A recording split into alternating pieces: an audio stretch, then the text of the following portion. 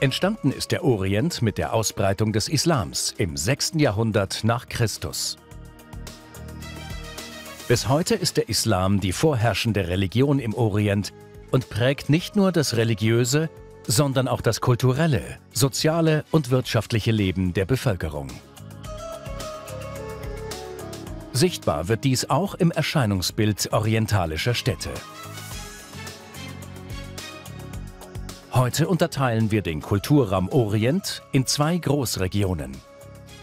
Die nordafrikanischen Länder mit Tunesien, Algerien, Marokko und je nach Definition auch Libyen und Mauretanien, die unter dem Begriff Maghreb zusammengefasst werden. Und den vorderasiatischen Teil des Orients, von Ägypten bis Pakistan, der auch als Alter Orient bezeichnet wird.